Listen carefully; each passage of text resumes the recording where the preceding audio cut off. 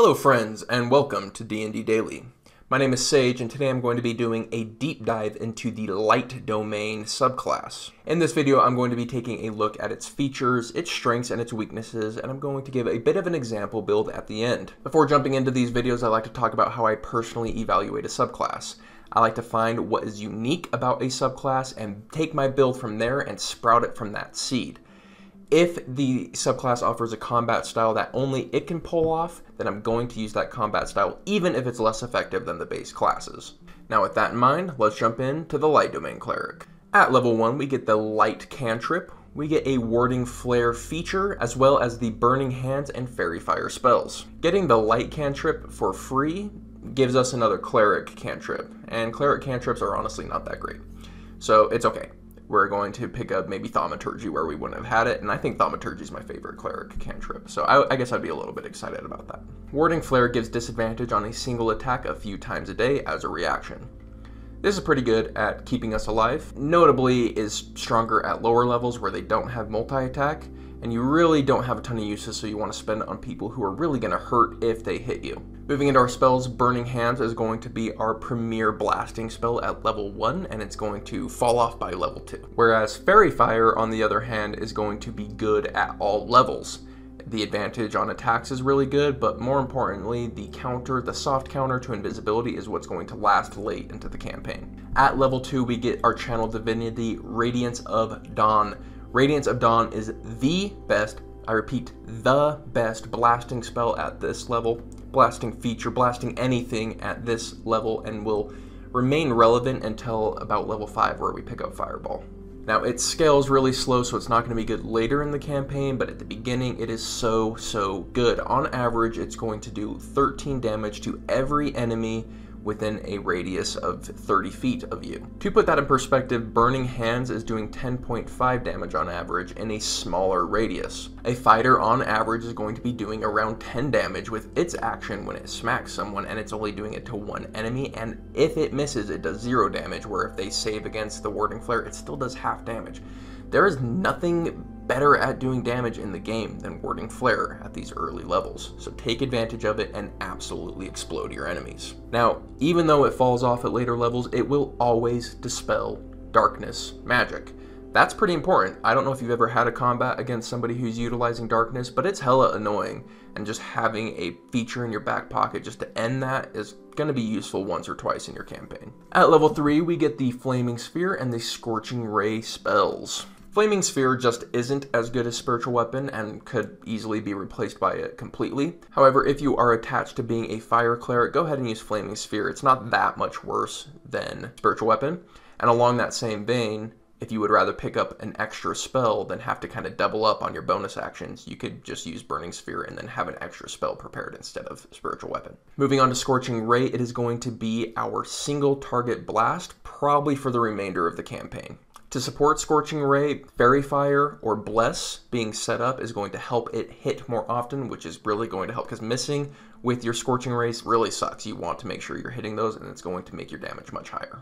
At level 5, we get the Illustrious Fireball, as well as the Daylight spell. Now, Fireball is probably why you're here. It's a premier blasting spell, and at level 5, it's going to be our main blasting spell. It's effective and it's versatile. Now we can do blasting that absolutely annihilates just a bunch of small creatures and we still have the cleric support to help out. So yeah, we're kind of cleric blaster wizard type build. Now keep in mind that most clerics that are doing a ton of damage are using spiritual guardians up close.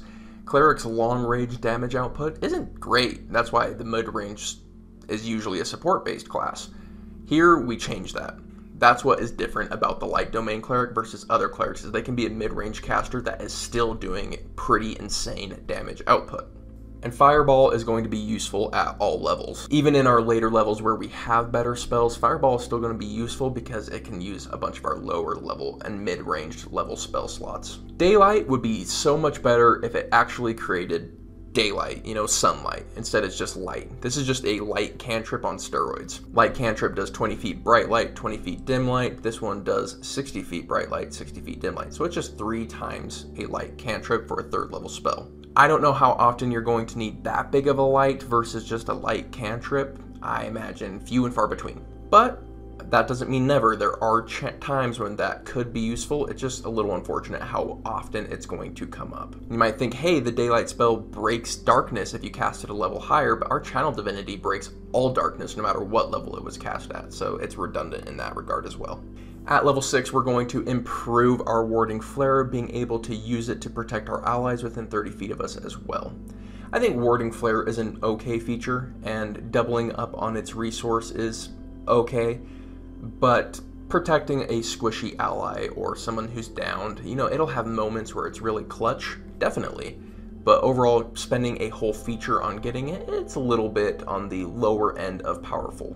Now, where this feature really, really stands out is if an enemy is going for a big spell attack like Inflict Wounds, or if it's an assassin going for that deadly sneak attack. Being able to do a Warding Flare in that case, okay, that's where it gets really powerful. I talked a lot about Guardian of Faith in the life domain video, but here it has some extra utility because of Wall of Fire. Both of these spells are area control spells. Both get way stronger when forced movement is involved. They're going to do a lot more damage instead of just controlling area if your team relies on forced movement. Now there's some interesting synergies where you can create a Wall of Fire. So okay, I'll paint the scene. You are being swarmed by a thousand ghouls.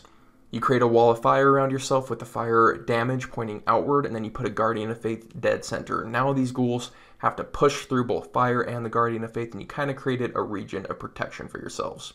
Eh, very situational, yes, but be creative. You could also you know, pin the Guardian behind them on one side of the wall and the Wall of Fire on the other side. Of course, it's two actions. I know this isn't going to be happening often. I'm just giving some ideas, basically. Out of the two, Wall of Fire is going to be way better. It's a better area control. It's a better spell. I love Wall of Fire. I think it's excellent. The Guardian of Faith is okay, and I think it'll always be secondary to Wall of Fire, but who knows? Maybe you can come up with some cool ways to use it.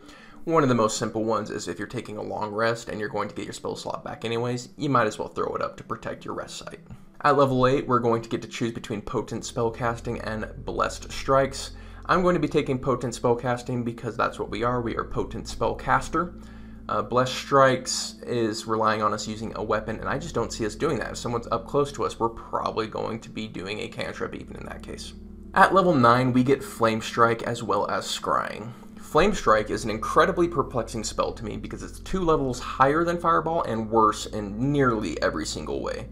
It really only has a few things going for it. Half of its damage is radiant, it has a higher hitbox, so it, you cast it, it has a lower radius but a higher hitbox, so I guess if you have a flying enemy and a grounded enemy, you might be able to hit them both. As well as it scales a bit better, where it scales at 2d6 before level increase instead of 1d6 like Fireball. But all those things pale, pale in comparison to the fact that it's two levels lower, doing the same amount of damage, hitting a bigger area at a further range. Perplexing. Why did they make this fifth level? I don't know. Fireball is just so much better. Here we get scrying. I'm going to encourage you to be very flavorful with this. With this particular cleric, I could see you looking into a flame to look at the, you know, to look at Georgia. I don't know. The problem with scrying for me is that you probably just could have slept and prepared it the next day. It's that situational that it usually can wait a day. And so unfortunately, it just kind of feels like we're wasting our prepared spells. And that goes for both of our fifth level spells, as they just kind of feel like they were a waste. Moving into our subclass capstone feature, we get Corona of Light. And here is another weird one. Leave it to the player's handbook to have some weird features going on. So what's weird about this is the fact that we can cast it infinite number of times, but it only lasts a minute. So it's not like a toggle, it's something we have to keep using on ourselves but we want to keep using it on ourselves whenever light isn't at a disadvantage to us because we want to go into combat with this active but not have to use our action to cast it. The reason for that is that when we have this cast, any of our fire or Radiant damage is going to make them throw at disadvantage, which is pretty awesome. It means that we stay relevant as a blaster into those late levels because we keep making them fail their saving throws, which is going to increase our damage. And if we can mix in any debuffs with our damage, it's also going to make them fail those as well. We'll get into that in the build section. Now, because we're always going to want this on, we're basically going to be a beacon of massive light, 120 feet of light all the time unless light is at a disadvantage. So if we're in a social situation, I would probably be a shining bright light, which could either be awesome or a little bit weird. I kind of lean in towards the weird, like, I don't know, just being a sun all the time just feels a little bit weird to me, but we are a light domain cleric, so maybe that's what we're going for. All right, so build time. We are here to be a blaster. This is the cleric blaster, with one possible exception, but that'll be for another video. But being a cleric blaster, we are the best blaster in the first levels, thanks to our channel divinity. We pick up Fireball, which is going to keep us relevant for the mid game. Once we hit those really late levels, I'm talking like level 17, our premier spell is going to be the 8th level Sunburst. What's really good about this spell is it does great damage, great area, but it's going to have disadvantage thanks to our Corona of Light on their saving throws, and if they fail it, they're blinded for a minute. So now we can give a really devastating debuff along with our great damage. Another spell I'd be looking at at those later levels is Firestorm. What's really nice about Firestorm is you can really mold it around the combat to only hit your enemies. So if your allies and the enemies are all tangled up, you can mold it in such a way to only hit the enemies and protect your allies. Past that, chuck a ton of fireballs. Even at level 17, you can basically chuck fireballs out like candy on Halloween and just blast everything, everything at disadvantage. Pretty awesome. When it comes to our single target damage, because all of this has been a lot of area damage, when it comes to single target damage, we might consider taking the Hexblood lineage to get Hex and then use Scorching Ray for some really great damage, and it can be upcast to scale that damage as well, so it has really great synergy. Our main play style is just going to be a mid-range caster, like normal clerics, but instead of focusing on support, we might do a bit of that, but we're going to be focused on blasting. Notably, all of our blasting spells aren't concentration, so we can still set up some awesome concentration spells, like Bless for example, and then get to town. At the end of the day, it's a pretty straightforward subclass as far as what it's meant to do. It's very straightforward, it almost builds itself. However, it offers a completely alternative playstyle to the cleric's normal playstyle, so it has a very specific and important niche to hold among the subclasses. This has been my deep dive into the Light Domain Cleric. We are D&D Daily. We release new D&D content every single day, so I will see you tomorrow. Peace.